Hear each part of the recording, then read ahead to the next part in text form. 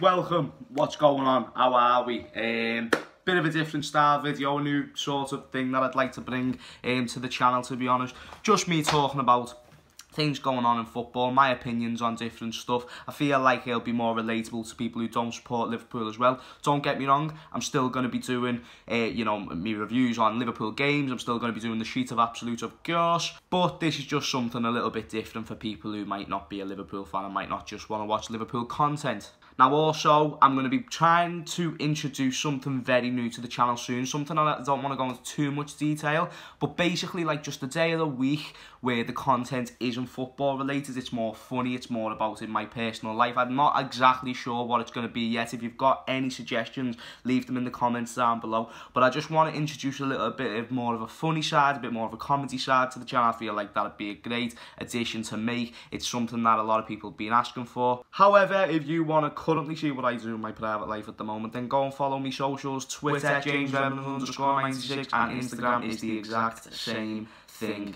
But enough of that, let's get into the video and let's start talking about some proper footy. So the first thing that I want to bring up is Coutinho going to Bayern Munich. Now I just want to give my thoughts on how I feel about this transfer, whether I think Liverpool should have went out and actually bought him themselves, not just let Bayern Munich jump on this opportunity, get the loan deal that we were linked to, to get him for. You know, obviously the, the rumour was with us that it was a two-year loan deal and we'd have an option to buy back. Bayern Munich have gone out, they've gone uh, and paid a loan fee. They've got him for the season. They have the option to buy him at the end of the season. But the question is, will Coutinho adapt to the Bundesliga and will we ever see him playing a Barcelona shirt again? Now, the loan fee is 9.3 million and the potential buy clause and the buy clause that is in the contract um, is for 133 million euros. Now, of course, that is a lot of money, but I think regardless of the type of season Coutinho had at Barcelona, which I understand it wasn't very good, um, Barcelona fans weren't overly pleased with him, but listen, when you play for Barcelona, the expectation that's on you um, to play for that shirt is unbelievable, and you know, he's still done really, he's still done quite well. He's still got goals, he's still contributed, he's still played a lot of games. I feel like this is a very good signing for Bayern Munich if I do say so myself. Now, I'm not going to lie, I actually kind of wish Liverpool went out and snatched Philippe Coutinho because at the end of the day, he's a top player. Listen, and people can say what they want. But, uh, you know, oh, he left the club. When he left, we went and won the Champions League oh, we played better without him. No, that's all bollock. We, we never played better without him. We only got to see four or five months of the Fab Four being Firmino, Salah, Mane and Coutinho. And let's be honest, it was it was brilliant to watch while we had it. And just imagine being able to have that for a full season. Now, the reason why I think this is a good signing for Bayern Munich is because at the end of the day, Coutinho is the difference of us. Let's say, for example, us. He's the difference of whether we win the league or not. Now, obviously, Bayern Munich win the league pretty much every season, which, uh, you know, obviously, you might not need Coutinho to that level. But listen, the Bundesliga is, get, is getting more competitive and bringing in world-class players, because that's what he is. He's world-class. Let's not beat around the bush. He's fucking, he's a brilliant man. He, he, he's a very good footballer. And when you bring in a player of that caliber, it, it's it's not necessarily giving you know giving you the league. It's not making it certain that you're going to win it, but it certainly does help your chances. Like for example, if you look at us last season, when you, you know you look at the games like Leicester, Everton when we drew them games, when we lost to City. Just think if you had a player like Coutinho in the team, just to be able to give you a moment of magic, that'd just be so brilliant to have. And I feel like that's what Liverpool do lack, just that one player who can just change a game in, in a blink of an eye, and that's something that Coutinho can do. Coutinho, he's just a very out-the-box player. And what I mean by out-the-box, not just because he scores a lot of goals outside the box, but, uh, you know, just the way he can dribble past people, his flair, his talent, his awareness, his awareness to make a pass, you know. Stuff like this is something that not every player just has. You know, it, it, it takes time for players to develop this, and this is something that Coutinho did develop at Liverpool. And at the end of the day, he's just a brilliant player, whether you like him or you don't. So, in my opinion, I would have liked Liverpool to, to, to go ahead and, and get this deal done, a loan deal for Coutinho, but obviously Jurgen Klopp did rule that out. He said he weren't particularly interested in making the move, and listen, whatever the manager says, I, I, I'm, I, I'm in no position to disagree with. I 100% stand by Jurgen Klopp and his decisions, um, but it just would have been a nice little touch on the transfer window, over do say so myself, but a good signing for Bayern Munich. Let me know in the comments down below what you thought. Now, moving on, we've got um, Shaqiri coming out and saying, not, not in the words that he's unhappy, but that he's not particularly pleased with the amount of game time he's getting. Now, Shaqiri obviously joined last summer for Liverpool, not the one just gone, the one before from Stoke City who got relegated. Um, it was obviously a very positive sign in terms of the Liverpool fans, the way they looked at it, the way we looked at it.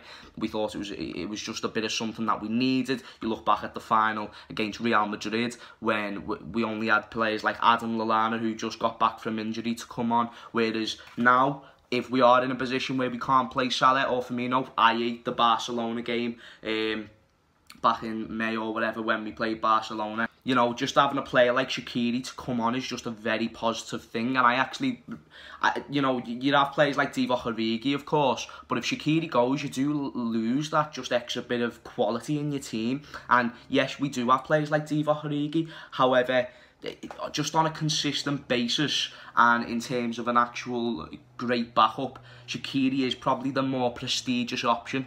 Now, whoa, whoa, whoa. Now, I know everyone's having a go at me. Listen, I'm not slating Origi at all. Listen, Origi's a brilliant man. He's got the biggest cock in Europe. He's a fucking glorious person.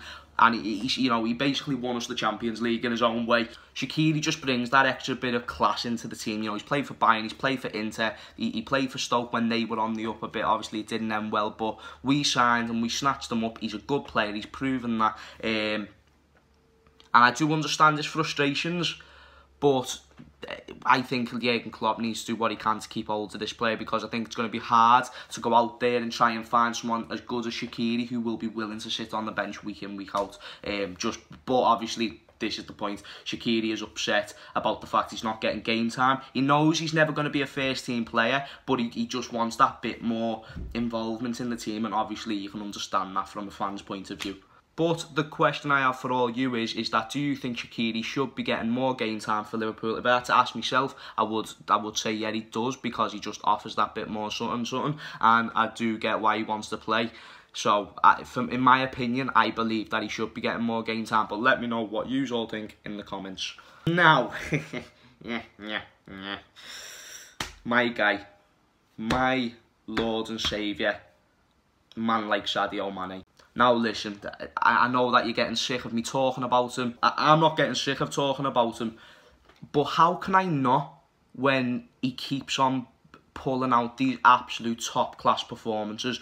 Absolute fucking Messi-esque, if not better performances. Just sexiness all round. You saw how much we missed him when he weren't playing against City, when he wasn't playing against uh, against Norwich for the whole game. But when he comes in against Chelsea, scores them two goals, essentially, uh, you know, it was a huge part of winning us that cup. And then coming in against Southampton and again essentially winning us that game also because Southampton could have came back. But if it weren't for the involvement of Mane's, of Mane's goal and his assist, then it's, it's just a very different story overall just absolute top class player. And anyone that wants to give me shit for for absolutely adoring this man then go fuck yourself because I'm just not going to listen. He's a very he's a very good player. I knew this two years ago. I know it now. I'm, I, I just, I'm onto it. But a question that I do want to ask you all is do you think Mane will be Liverpool's most influential player this season because obviously if you look at last season it was Virgil van Dijk. The season before it was Mohamed Salah. You know it's kind of changed but now is it going to be Mane? He, obviously the season before Mohamed Salah it was Sadio Mane. Is he going to come back? Is he going to outshine these players? And if we do win more silverware this season is Mane going to be the big you know sort of reason for that success. Let me know what your thoughts in the comments down below. Let me know if you've enjoyed this video. It's a bit of a different one. It's something a bit new. Let me know if you want to see more of me just talking about general football news. Obviously, still mostly Liverpool. Um, and, and other things like that. Like I said, I'm, I'm going to be working on something to choose one day of the week where it's just not footy related, something more funny, something a bit more comedic. Um, I'll work on it, I'll start getting on ideas. But anyway, thank you for watching this video. Appreciate all the support. If you want to leave a cheeky like and a subscribe, then by all means, I'm not going to stop you. Um, but anyway, thank you for watching and I'll see you later. ta